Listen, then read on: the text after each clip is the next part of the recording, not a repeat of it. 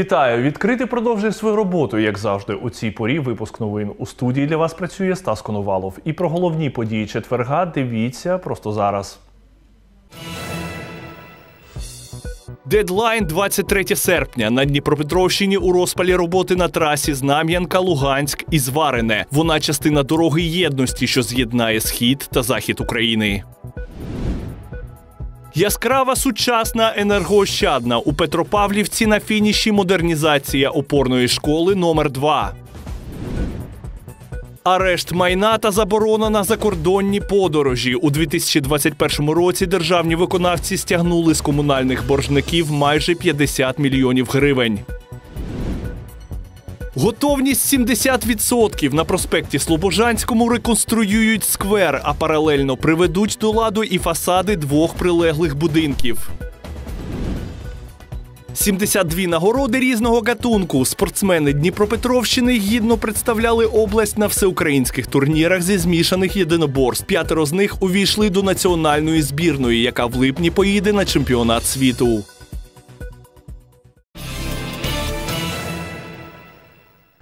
Про це та інше більш детально.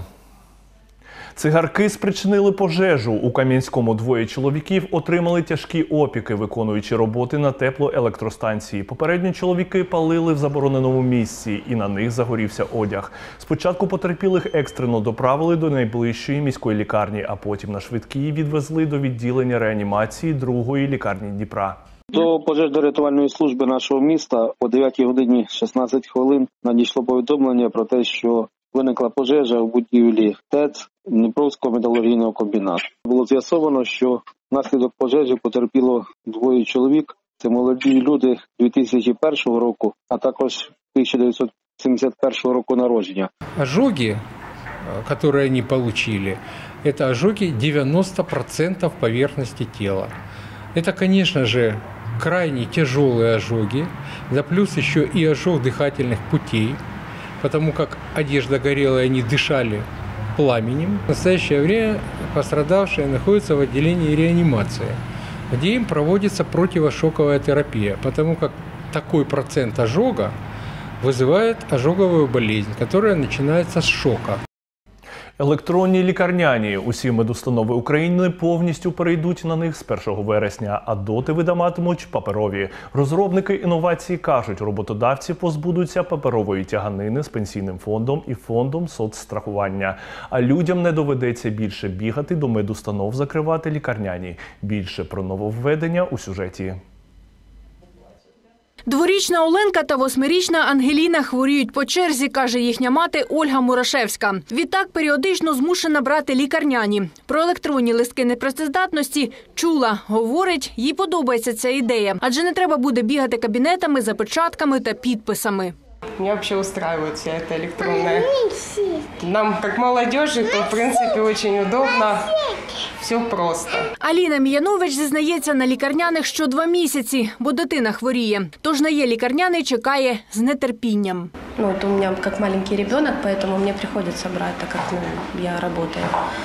Вот, поэтому ну, не таскать с собой ребенка, это будет очень удобно. У центрі первинної меддопомоги Кам'янського номер 1 є лікарняні почнуть видавати з 1 липня, бо лікарі там вже до цього готові. Пройшли онлайн навчання і отримали відповідні сертифікати. Нововведення схвалюють. Бывает, что врач где-то не расписался, или где-то печать не поставил, или неправильно написал название э, предприятия, на котором работает пациент. И людям приходится и в связи с этими ошибками возвращаться повторно в эти медицинские учреждения, в Киев, Днепропетровск, если там неправильно оформлен больничный лист. Когда будут электронные больничные листы, это все технически будет уходить.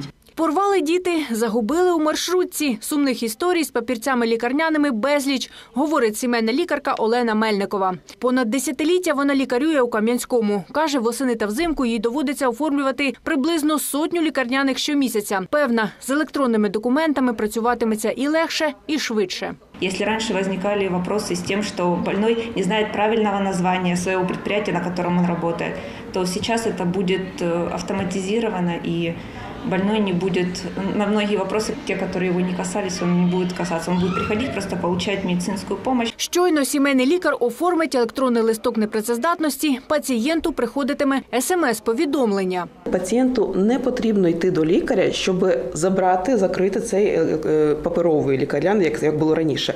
Електронний лікарняний закривається автоматично, якщо у визначений термін пацієнт одужав. Наприклад, лікар визначив, що е, хвороба буде тривати 5 днів. Через 5 днів пацієнт зателефонував лікарю, все добре, і е, автоматично закривається цей період непрацездатності. Електронний листок непрацездатності буде доступний роботодавцю на веб-порталі пенсійного фонду. Всім роботодавцям і всім застрахованим особам необхідно застрахуватися на веб-порталі електронних послуг пенсійного фонду і, і обов'язково мати е, електронний кваліфікаційний підпис. Нараховувати виплати за лікарняний будуть протягом 10 днів. Їхній розмір не зміниться від 50 до 100% середнього доходу, у залежності від страхового стажу. Галина Ізмайлова, Василь Самовар, Open телеканал відкритий. Пандуси, тактильна плитка, шрифт Брайля. Медичні заклади Дніпра оновлюють за принципом доступності для людей з інвалідністю. Зокрема, ремонтні роботи провели у центрі первинної медико-санітарної допомоги номер 8 та багатопрофільній міській лікарні номер 4 на західному. Цей медзаклад один з найбільших у Дніпрі. Щороку тут лікується 30 тисяч людей. Директорка каже, в них багато пацієнтів з проблемами опорно-рухового апарату людей з інвалідністю. Тому більшість пересувається на візках. Раніше пандус був на задньому дворі лікарні, що було незручно для всіх. Нині доріжку облаштували поблизу головного входу, а в реєстратурі є спецкнопка для виклику медперсоналу, якщо людям потрібна допомога у вбиральні.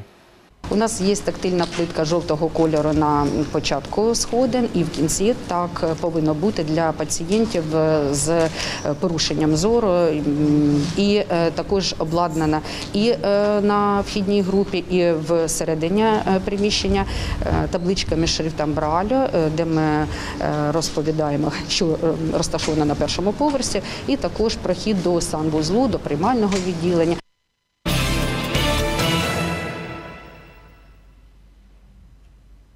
На Дніпропетровщині в розпалі роботи на трасі державного значення М04. Будівельники працюють вдень і вночі, вкладаючи багатошарове дорожнє покриття. Паралельно з дорогою капітально ремонтують і Богославську переправу. Магістраль Знам'янка Луганськ і зварене частина дороги єдності. Її планують ввести в експлуатацію до Дня Незалежності. За ходом робіт спостерігала і знімальна група відкритого.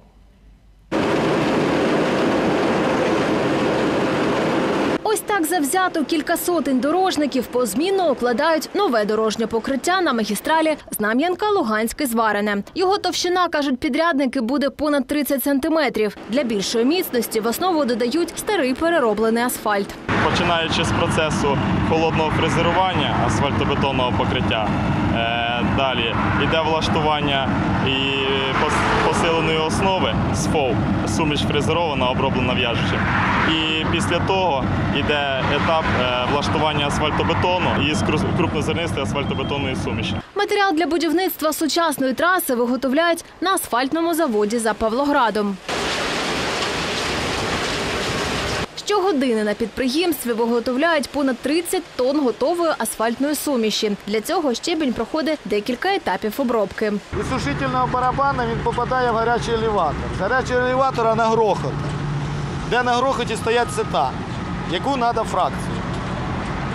Із е, грохота цей щебінь потрапляє в гарячий карман.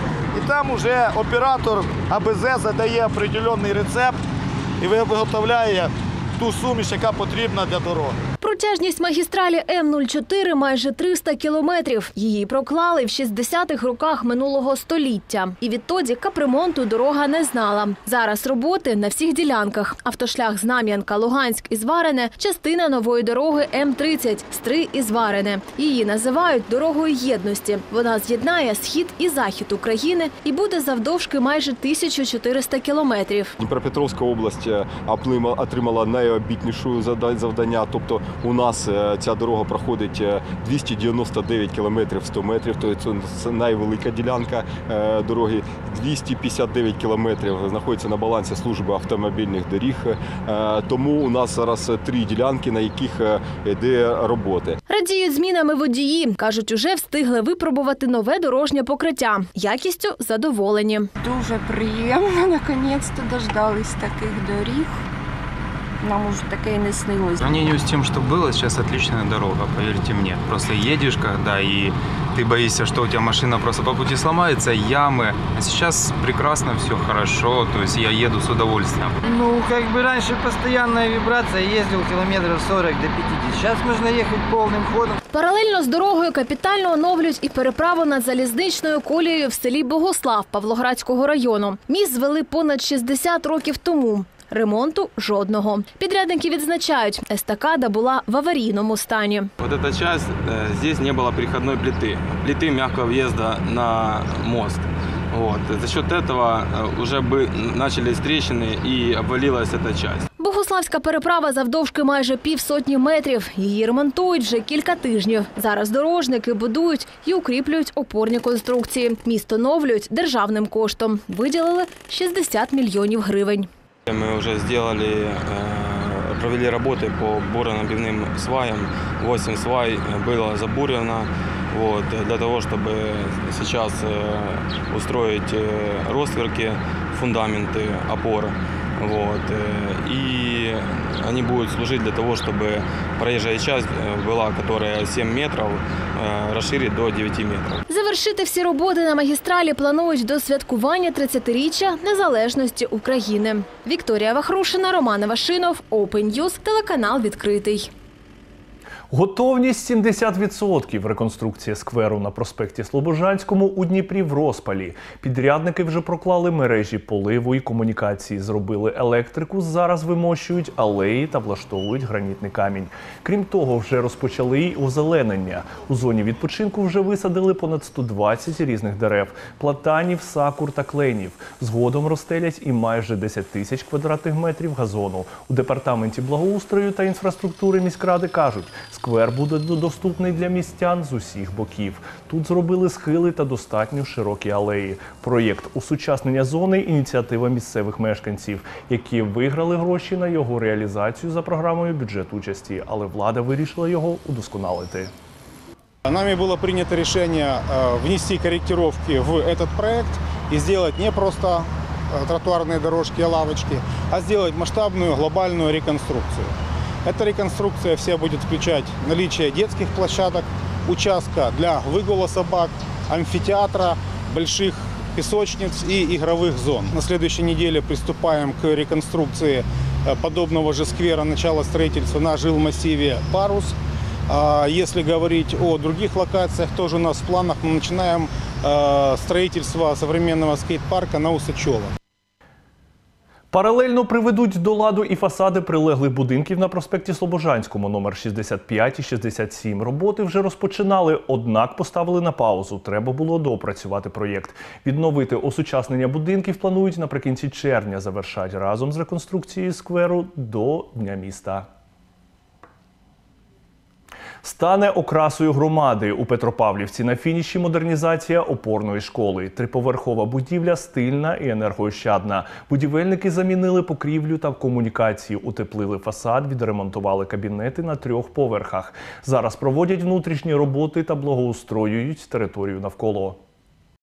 Яскрава, сучасна, гарна ззовні та зсередини. Петропавлівську школу осучаснюють вперше за більше як 35 років. Директорка закладу Ольга Цимбал розповідає, робили лише косметичні ремонти власними силами та коштом батьків, але цього було замало, бо зношені системи водопостачання, каналізації та електромережа потребували повної заміни. Тепер, завдяки реконструкції, будівлю не впізнати. У нас не було у школі е, окремого туалету для дітей з обмеженими можливостями.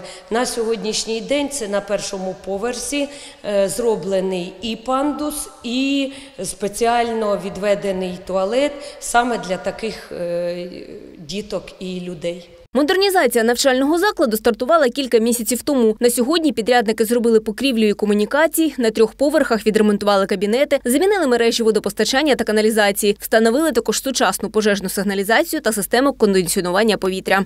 Зробили сучасний фасад, оновили аудиторії, закупили нові, нові меблі. Будівельники вже на фініші.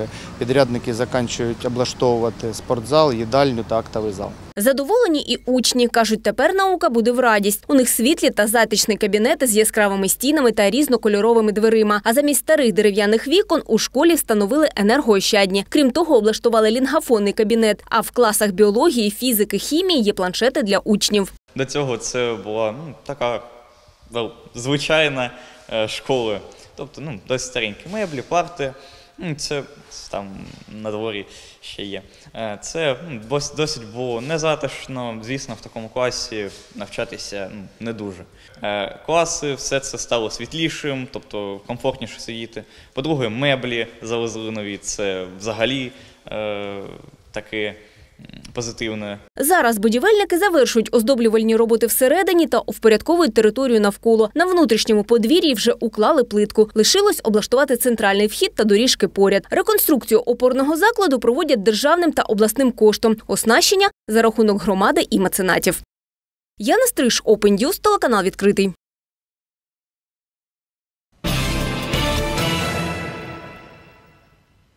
Ще 192 мешканці Дніпропетровщини подолали коронавірусну хворобу за минулу добу. Нових інфікованих виявили майже вчетверо менше 59. Такі дані наводять в обласному департаменті охорони здоров'я. Найбільше інфікованих у Дніпрі, Павлограді, Жовтих Водах та Кам'янському. Загалом в Україні діагностували майже тисячу нових заражених. Водночас подолали недугу двічі більше людей, практично дві з половиною тисячі. В антилідерах за поширенням корони, крім Дніпропетровщини, Харківська, Донецька, Київська області та столиця. Ситуація з поширенням недуги всередині країни стабілізувалася, проте існує загроза ззовні. В Україні зафіксували два випадки нового варіанту коронавірусу Дельта. До київської лікарні ушпиталили хворих, інфікованих індійським штамом. Недугу діагностували в 66-річної жінки та її 16-річного сина. Вони нещодавно повернулися з Росії. Міністр охорони здоров'я України Віктор Ляшко повідомив, нині зразки нового штаму досліджують в лабораторії. В чому його особливості? В тому, що він швидше передається, е, швидше е, призводить до госпіталізації людей, і це призводить до того, що досить швидко заповнюються лікарні. Зокрема, ми бачимо це в Російській Федерації.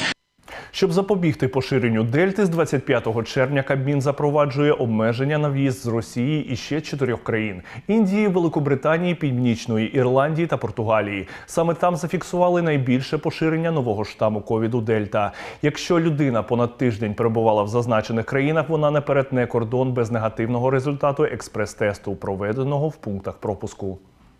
Водночас в Європейському центрі профілактики та контролю захворювань прогнозують, до кінця серпня на дельту припадатиме 90% випадків інфікування в країнах Єврозони. Фахівці кажуть, досить ймовірно, що дельта широко розповсюджуватиметься влітку, особливо серед молоді, яка зараз не може вакцинуватися. А це може призвести до ризику інфікування більш вразливих груп населення, важкого перебігу недуги і навіть смерті, якщо вони не будуть повністю імунізовані.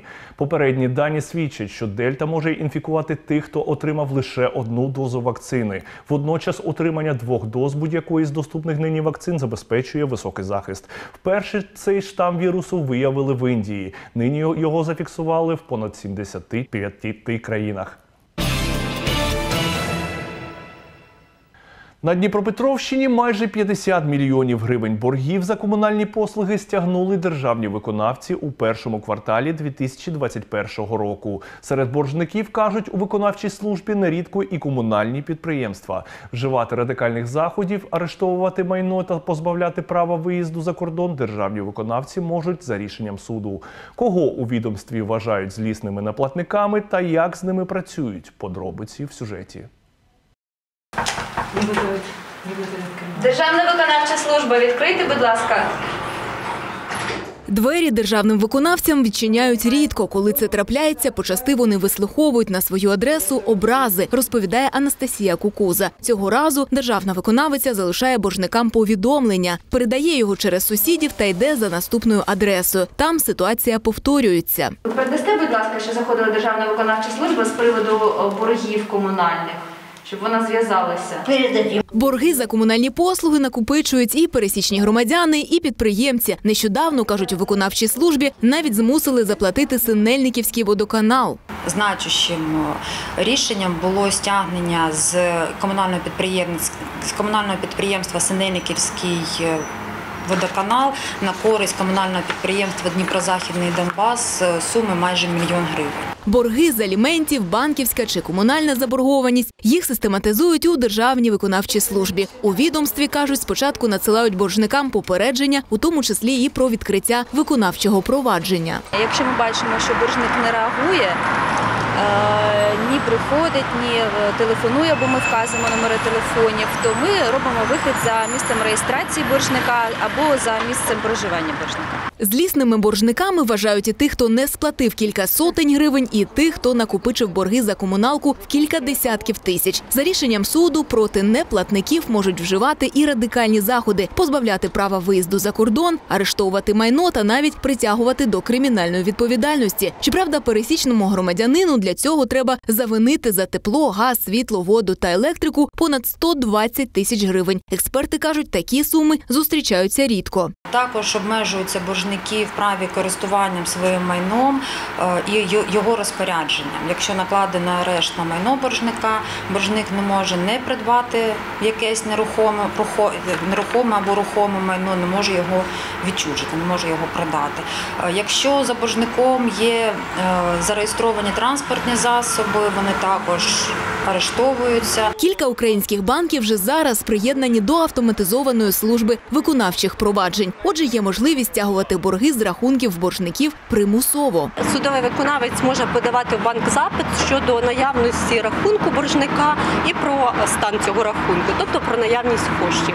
І вже після цього він е, може прийняти рішення про примусове стягнення боргу. У першому кварталі цього року відзначають у виконавчій службі завдяки радикальним та роз'яснювальним заходам стягнули з неплатників понад 47 мільйонів гривень комунальних боргів. Юлія Демченко, Володимир Туркулець, News, телеканал відкритий.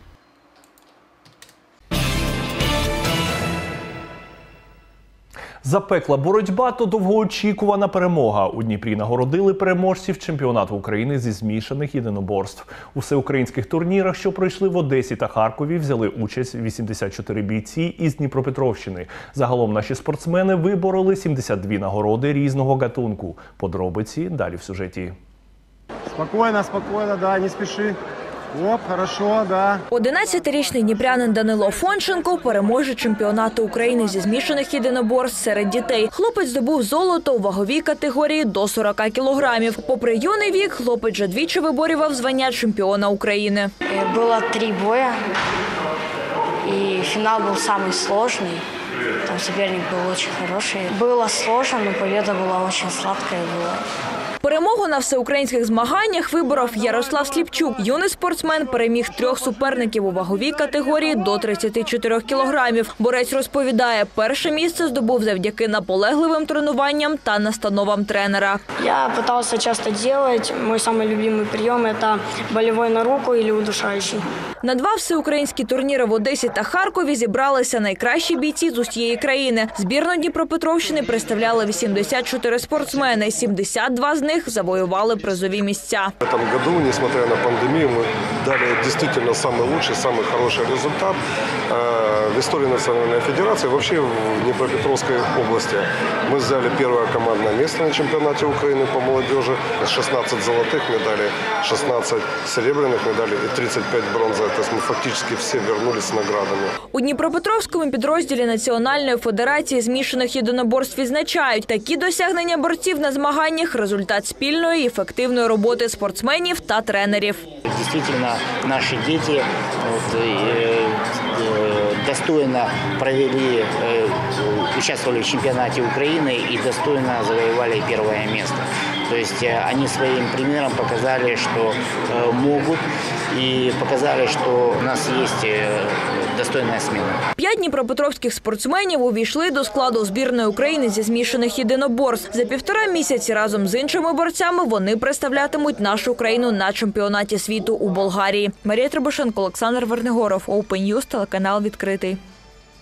Це поки всі новини на цю годину. Більше інформації читайте на нашому сайті opentv.media. Не забувайте і про сюжети в соціальних мережах та на нашому ютуб каналі. Якщо маєте цікаву новину, телефонуйте на гарячу лінію 068 1234 854.